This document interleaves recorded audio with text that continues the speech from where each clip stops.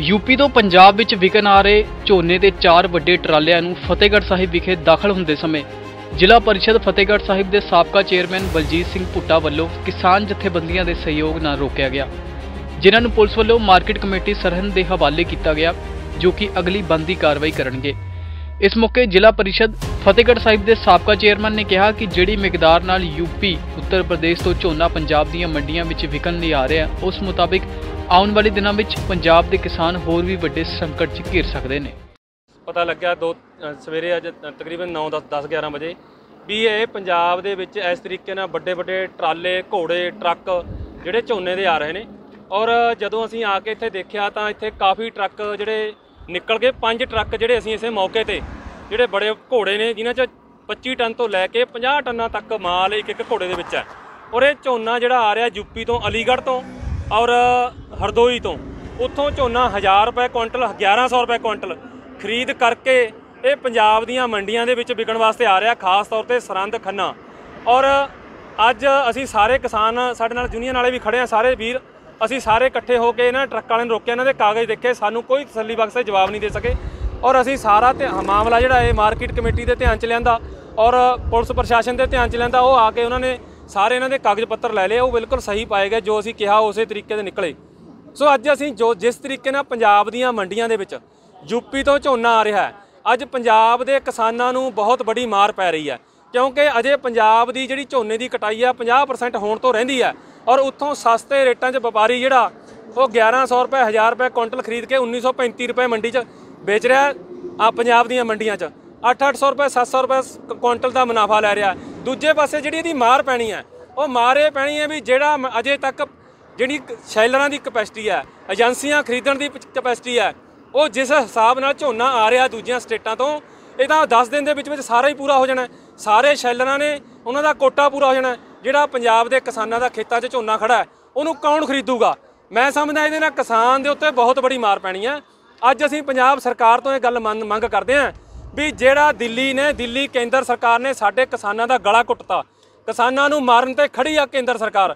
ਪਰ ਪੰਜਾਬ ਸਰਕਾਰ ਨੂੰ ਵੀ ਅੱਜ ਆਪਣਾ ਜਿਹੜਾ ਡਿਸੀਜਨ ਹੈ, ਉਹ ਨਿਰਪੱਖ ਕਰਨਾ ਚਾਹੀਦਾ, ਸਖਤ ਕਰਨਾ ਚਾਹੀਦਾ ਕਿ ਸ਼ੰਭੂ ਬਾਰਡਰ ਤੋਂ ਉੱਤੋਂ ਜੇ ਕਿਸਾਨ ਆਪਣੀ ਮੰਗਾਂ ਨੂੰ ਲੈ ਕੇ ਦਿੱਲੀ ਨੂੰ ਤੁਰਦਾ ਤਾਂ ਉੱਥੇ ਸਾਡੇ ਤੇ ਡਾਂਗ ਫਿਰਦੀ ਹੈ ਔਰ ਬ- ਪਾਣੀ ਦੀਆਂ ਵਿਛਾੜਾਂ ਪੈ ਰਹੀਆਂ ਨੇ। ਫਿਰ ਜਿਹੜੀ ਉੱਥੋਂ ਝੋਨਾ ਆਉਂਦਾ ਕਿਉਂ ਨਹੀਂ ਸ਼ੰਭੂ ਬਾਰਡਰ ਤੇ ਪੰਜਾਬ ਸਰਕਾਰ ਰੋਕਦੀ? ਸੋ ਇਸ ਕਰਕੇ ਅਸੀਂ ਮੰਗ ਕਰਦੇ ਹਾਂ ਪੰਜਾਬ ਸਰਕਾਰ ਇਹਨੂੰ ਤੁਰੰਤ ਰੋਕੇ ਔਰ ਰੋਕ ਕੇ ਅਸੀਂ ਜਿਹੜਾ ਇਹ ਮੰਡੀਆਂ 'ਚ ਆਉਣਾ ਝੋਨਾ ਬੰਦ ਰਹੇ ਬੰਦ ਹੋਵੇ ਤਾਂ ਕਿ ਸਾਡੇ ਪੰਜਾਬ ਦੇ ਕਿਸਾਨ ਦੀ ਜਿਹੜੀ ਫਸਲ ਹੈ ਉਹ ਵਿਕ ਸਕੇ। ਇਸ ਵਾਰ ਤੋਂ ਆਇਆ ਤੇਰਾ ਨਾਮ ਕੀ ਹੈ? ਸਤਵੀਰ ਜੀ। ਕੀ ਲੈ ਕੇ ਆਇਆ ਤੂੰ ਗੱਡੀ 'ਚ? ਜੀਰੀ ਜੀ। ਕਿੱਥੋਂ ਲੈ ਕੇ ਆਇਆ ਯੂਪੀ ਚੋਂ ਜੀ। ਕਿੱਥੇ ਵੇਚਣੀ ਹੈ ਜਾ ਕੇ? ਅੰਮ੍ਰਿਤਸਰ ਜਾਊਗੀ ਆ ਟਰਾਂਸਪੋਰਟਰ ਭਰਾਂਦੇ ਜੀ। ਤਾਂ ਕਿਹਦੀਆਂ ਨੇ ਹੈ ਕਿਹਦੀਆਂ ਨੇ ਕਿਹਦੀ ਹੈ ਇਹ? ਨਾ ਤਾਂ ਪਤਾ ਨਹੀਂ ਵਪਾਰੀ ਦਾ ਪਤਾ ਨਹੀਂ ਕੀ ਹੈ ਜੀ ਇੱਥੇ। ਵਪਾਰੀ ਦੀ ਹੈ, ਕਿਸੇ ਦੀ ਕੀ ਹੈ ਇਹ? ਵਪਾਰੀ ਦਾ ਮਾਲ ਹੈ ਜੀ। ਕਿੰਨੀ ਕਿੰਨੀ ਜੀਰੀ ਹੈ ਕਿੰਨੀ ਜੀਰੀ ਹੈ? ਕਿੰਨੇ ਟਨ ਹੈ ਅਜੇ 30 ਟਨ ਹੈ ਜੀ। ਕੀ ਨਾਮ ਤੇਰਾ? ਮੇਰਾ ਨਾਮ ਸਤਵੀਰ ਹੈ ਜੀ। ਗੱਡੀਆਂ ਆਈਆਂ ਨੇ ਯੂਪੀ ਤੋਂ ਇਹਨਾਂ ਨੇ ਕਿਸਾਨ ਯੂਨੀਅਨ ਵਾਲਿਆਂ ਨੇ ਫੜੀਆਂ ਹੋਈਆਂ ਨੇ। ਅੱਗੇ ਦੇਖਦੇ ਆ ਵੀ ਕੀ ਬਣਦਾ ਇਹਨਾਂ ਦਾ। ਜਾਣੇ ਆ ਬਸ ਹੈ ਇਨਫੋਰਮੇਸ਼ਨ ਕਿਹਨੇ ਦਿੱਤੀ ਇਨਫੋਰਮੇਸ਼ਨ ਆ ਯੂਨੀਅਨ ਵਾਲਿਆਂ ਨੇ ਬੁਲਾਇਆ ਸਾਨੂੰ ਇੱਥੇ ਕਿਸਾਨ ਯੂਨੀਅਨ ਨੇ। ਕੀ ਕਾਰਵਾਈ ਹੋਊਗੀ ਉਹਨਾਂ ਨੇ ਤੇ? ਇਹਨਾਂ ਦੀ ਕਾਰਵਾਈ ਕਾਗਜ਼ ਪੱਤਰ ਦੇਖ ਕੇ ਦੇਖਦੇ ਆ ਅੱਗੇ ਕੀ ਬਣਦਾ ਇਹਨਾਂ ਦਾ। ਕੀ ਨਾਮ ਅੱਗੇ ਹੈ? ਇਹ ਵੈਸੇ ਅੱਗੇ ਜਾਣੀਆਂ ਰਈਆ ਦੀਆਂ ਦੱਸਦੇ ਨੇ ਗੱਡੀਆਂ ਦਾ। ਕੀ ਨਾਮ ਤੁਹਾਡਾ ਜੀ? ਮੇਰਾ ਨਾਮ ਰਾਜਵੀਰ। ਕਿੰਨੀਆਂ ਗੱਡੀਆਂ ਨੇ ਜੀ ਇਹ? ਗੱਡੀਆਂ ਚਾਰ ਨੇ। ਅੱਛਾ ਇਹਨਾਂ ਦੀ ਕੀ ਕਾਰਵਾਈ ਹੋਊਗੀ ਜੀ ਕਾਰਵਾਈ ਤਾਂ ਹੁਣ ਉੱਚ ਅਧਿਕਾਰੀਆਂ ਨੂੰ ਫੜਾ ਦੇਣੀ ਜਾ ਕੇ ਉੱਥੇ ਉਹ ਕਰਨਗੇ ਕਿੱਥੋਂ ਆਈਆਂ ਸੀ ਇਹ ਗੱਡੀਆਂ ਜੀ? ਇਹ ਮਾਰਕਾ ਕਿਸਾਨ ਯੂਨੀਅਨ ਤੇ ਮਾਰਕੀਟ ਕਮੇਟੀ ਵਾਲੀਆਂ ਗੱਡੀਆਂ ਇੱਥੇ ਜਿਹੜੋ ਜੀਰੀ ਬਾਹਰੋਂ ਯੂਪੀ ਵਗੈਰਾ ਤੋਂ ਆ ਰਹੀ ਹੈ ਉਹ ਰੋਕੀ ਇਹਨਾਂ ਨੇ ਤੇ ਉਹ ਅਗਰ ਜੋ ਮਾਰਕੀਟ ਕਮੇਟੀ ਜੋ ਵੀ ਫਰਦਰ ਇਹਨਾਂ ਦਾ ਐਕਸ਼ਨ ਬਣਦਾ ਹੈ ਉਹ ਸਾਨੂੰ ਲਿਜਾ ਰਿਹਾ ਇਹਨਾਂ ਨਾਲ ਮਦਦ ਵਾਸਤੇ ਠੀਕ ਹੈ? ਤੁਹਾਨੂੰ ਇਨਫੋਰਮੇਸ਼ਨ ਕਿਹਨੇ ਦਿੱਤੀ ਸੀ ਜੀ?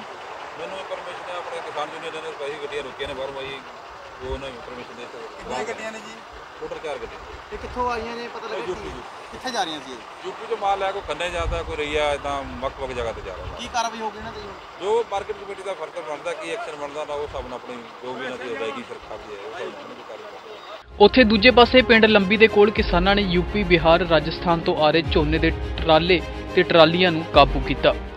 ਇਹ ਪੰਜ ਟਰੱਕ ਹੈ ਦੋ ਟਰੈਕਟਰ ਹੈ ਜੀ। ਟਰੈਕਟਰ ਹੈ, ਦੋ ਹਰਿਆਣੇ ਦਾ ਮਾਲ ਹੈ ਇਹਨਾਂ 'ਚ।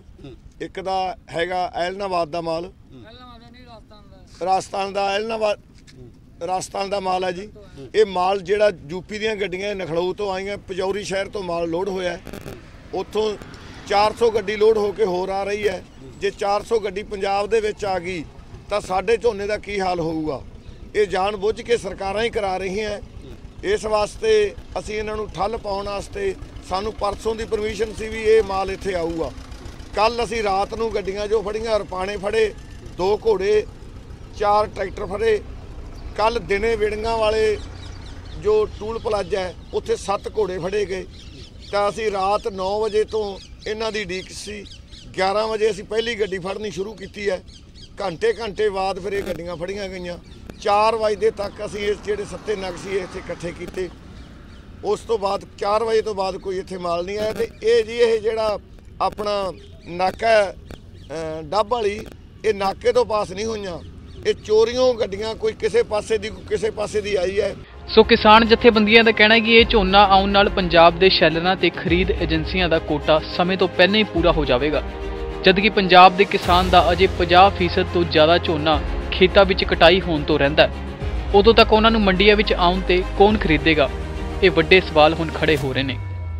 ਮਲੋੜ ਤੋਂ ਚੇਤਨਪੁਰਾ ਤੇ ਫਤਿਹਗੜ੍ਹ ਸਾਹਿਬ ਤੋਂ ਰਜਿੰਦਰ ਭੱਟ ਦੀ ਰਿਪੋਰਟ, ਡੇਲੀ ਪੋਸਟ, ਪੰਜਾਬੀ।